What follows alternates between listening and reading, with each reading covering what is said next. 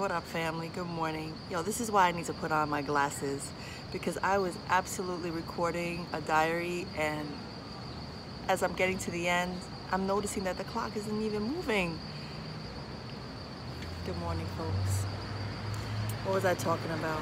I was I was talking about returning to love and listening to the words that you speak. Yesterday I decided that I needed to be very intentional about the ways that my identity intersects with every aspect of my life. My sexuality, my spirituality, my writer's life, my writer's journey, Alicia as teacher, as mother, lover, leader, organizer, daughter.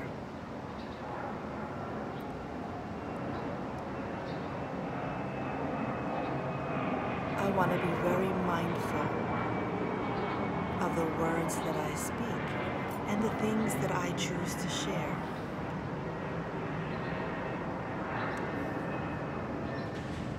This morning I woke up thinking about the ways we infect one another.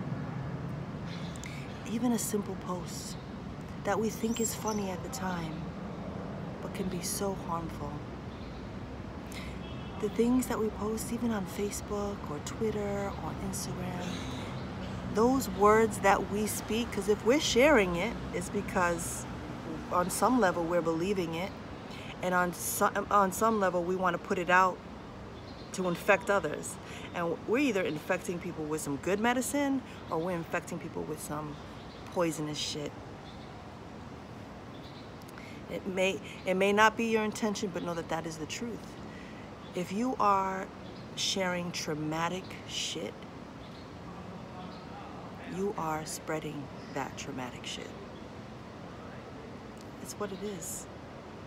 How are we choosing to move and what are the words that we are choosing to speak on a regular basis?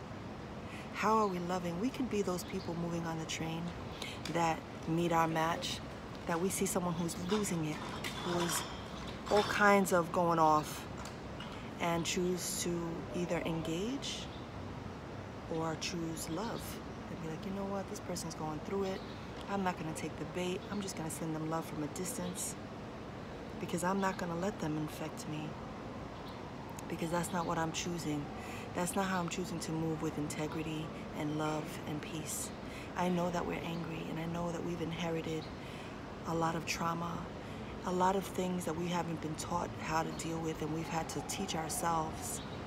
I know what that is. I have taught myself. Some people are too proud to seek a therapist, to seek spiritual counsel, guidance a healer, a diviner, an oracle, a shaman, a santera, a babalao.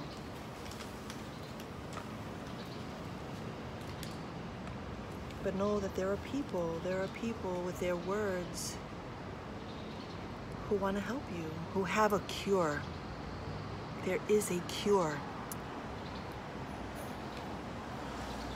We don't have to walk around infecting everyone because we're infected.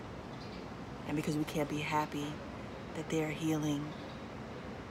Because we can't be happy for them because when you're infected it feels good to have everybody else around you infected.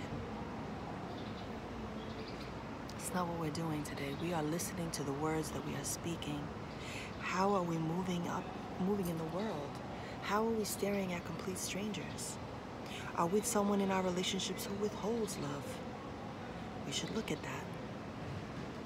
Are we someone in our relationships who punish people when we're not getting what we need or when we're feeling powerless?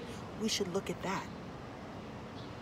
What are the words? Listen to the words that you are speaking when you say, that's just my truth.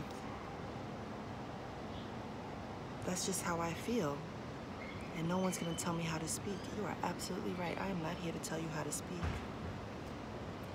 I am here to tell you that you are going to attract the things you speak. most definitely, most certainly, and absolutely. I am very intentional. I don't want to be around people who gossip. I don't want to be around people who are jealous and envious of other people's success. I don't want to be around people who are abusive verbally, physically, sexually. Because I'm listening to the words that I speak. I don't need to be around that. You could be a friend or a family member. I don't need to be around you because you are not affect you are not infecting me. These are the choices that we're making. Like when we are when we are walking in love, when we are returning to love, we can love those people, but they just can't be in our immediate space because it's not our responsibility to to disinfect. Yo, for real, it's just not. It's not. It's not our job. And so, I'm on here this morning to just encourage you to um, find a way to return to love. Truly, self love it's beautiful when you have a partner, but I'm really an advocate for self-love. Because when you don't love yourself, when you're not good to yourself, when you're not speaking loving, kind, gentle words to yourself, you cannot love nobody. Nobody. You can try. You know, the highest form of love that I could have for my daughter, what that was, what that moment was, getting some fucking therapy. Taking my ass to a fucking therapist period. That is the greatest expression of love that I could have gifted her was work on your shit. Because I'm trying to be someone who walks in integrity and I'm trying to teach her some things. So modeling some things was really holding a mirror to myself and saying, we're going to look at all the ways that you are infected right now and how you are infecting her and, and all the ways that you can undo that how you can fix that, how you can heal from it. And so I've been on this journey for a long time 27 years of self love, of moving towards self love, being an advocate for it, being a leader in the cause in many ways, for real. So let's love ourselves a little more today. Let's love others a little more today. Let's do what we need to do to take care of ourselves and get uninfected. And let's try to stop infecting each other. So let's breathe. Because I'm about to go do my card of the day, my card of the day for y'all. Let's breathe. I just dropped the baby off. My beautiful foster daughter, this beautiful black baby. She's gorgeous and growing so big. I'm sorry y'all can't see her. She's beautiful and healthy and so big. Let's breathe. Today I will choose I will choose to be more loving. You know you can pause this meditation at any moment to write, journal, meditate on what's rising for you. Today I will choose to be more loving towards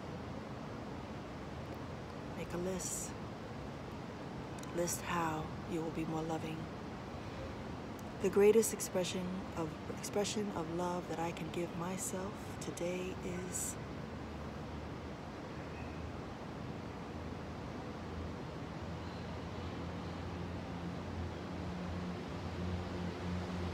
and my intention for today.